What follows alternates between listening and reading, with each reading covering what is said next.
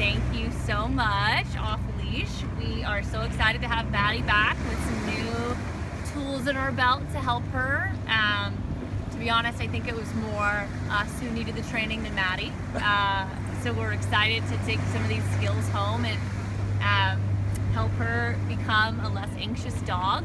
And uh, even the videos that we've seen over the past two weeks from Tina have been uh, amazing, and we're appreciative. Um, found you guys because Ryan Reynolds used you, so thank Ryan Reynolds and his Instagram. What a dream Um, boat. What a dream boat.